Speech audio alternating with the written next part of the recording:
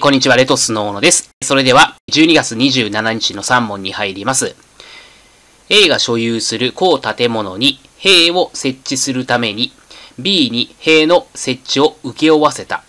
その後、A は高建物を C に賃借し、C が占有している時に、工事の瑕疵で塀が崩れ、第三者 D に怪我をさせてしまった。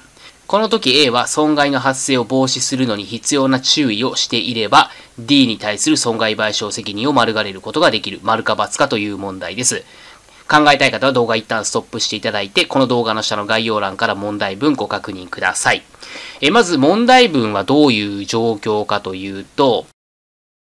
A が所有する高建物があって、これに塀を設置しようとしてるんですよね。まあ、A さんが塀を設置しようとしていて、B に塀の設置を任せたんですね。つまり B がまあ請負業者っていうイメージです。で、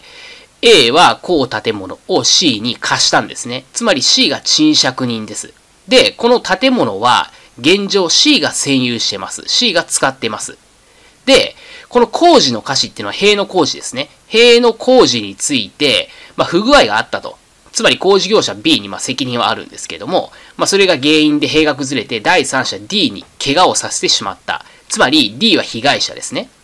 この時、A っていうのは高建物の所有者ですね。は、損害の発生を防止するのに必要な注意をしていたら、D に対して、被害者に対して損害賠償責任を免れることができる、丸か×かという問題なんですけども、所有者 A っていうのは、え注意をしていたとしても、損害賠償責任免れることはできないんですね。だから誤りです。えまあ、状況を図にするとこんな感じですね。高建物の所有者が A さんで、これを、ま、C に貸してるから、ま、C が占有者ですね。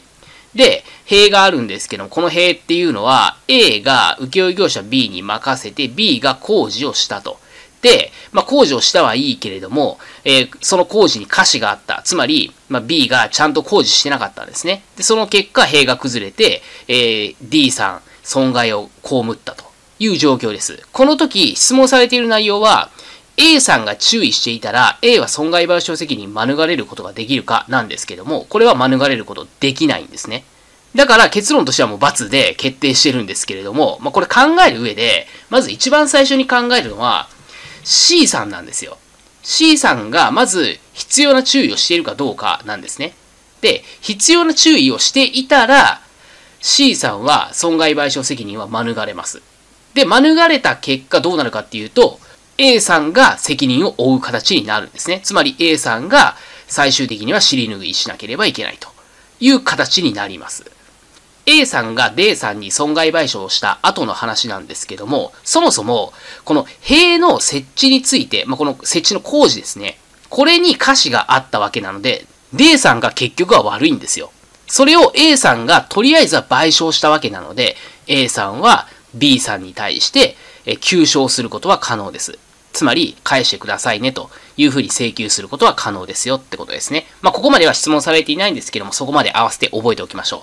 えー、またですね、この問題ちょっと考えるべきところがすごくたくさんあってですね、えー、この無料の動画ではここまでしかちょっとお伝えできません。で、個別指導の受講者さんは、受講者専用のメルマガをご確認ください。考え方を1からですね、えー、並べて解説してますので、その順に頭に入れていただければと思います。それでもう工作物責任っていうのはほとんどもう定数取れますので、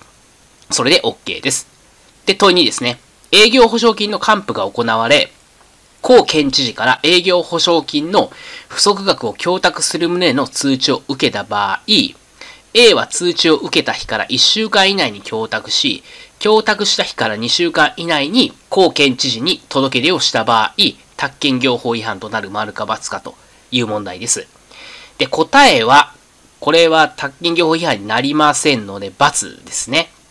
営業保証金の不足額は、免許経営者から供託すべき旨の通知を受けた日から2週間以内に供託し、供託した日から2週間以内にその旨を免許経営者に届け出なければなりません。で、今回の問題っていうのは、1週間以内に供託しているので、これ宅建業法違反にならないんですね。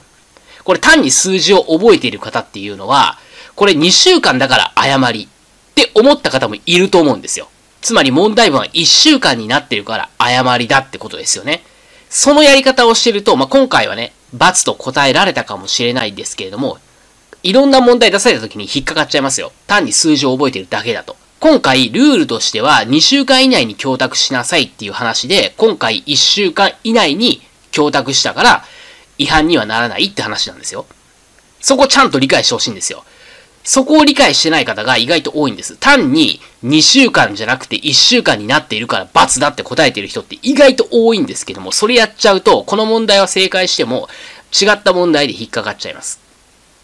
しっかり流れをですね、頭に入れておくってことが理解学習なんですね。まあ、細かいことを個別で覚えるんじゃなくて、流れ、ストーリーとして覚えていく。で、これが重要なんですね。で、何を覚えるかよりも、どのように勉強していくかの方が、えずっと重要なんですね。なので、まあ、個別指導では、まあ、そういった内容をお伝えをしております。まあ、今回の還付の流れについても動画でですね、お伝えしておりますので、えー、個別指導の受講さんは、個別指導のメルマガからそちら、えー、ご確認いただければと思います。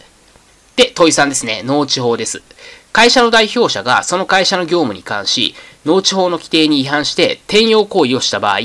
その代表者が罰せられるのみならず、その会社も1億円以下の罰金刑が課せられる。丸か罰かという問題です。で、答えは丸ですね。法人の代表者、その他従業員が、その法人の業務や財産に関し、4条許可、5条許可、現状回復命令等に違反した場合、行為者に対しては、3年以下の懲役または300万円以下の罰金に処せられます。一方、法人に対しては1億円以下の罰金刑が課せられるんですね。つまりこれってどちらも課せられるんですよ。行為者に対しても課せられるし、法人に対しても課せられる。こういったのを両罰規定って言います。なので、今回の問題は丸だということですね。で、えこう勉強を進める中でなんですけども、この法律用語どういう意味だっけ？そして調べてもなんかしっくりこないなとか、そういったことってありませんか？もちろん調べるっていう方法はあるんですけども、実はそれ以外にも方法があるんですね。で、それについては個別指導の特典である、究極の宅建合格勉強法。まあ、こちらをですね、無料でプレゼントしているんですけども、こちらの、えテキストの21ページに記載されている内容があるんですね。その方法を使うと、法律用語、調べなくても理解できる場合があるんですよ。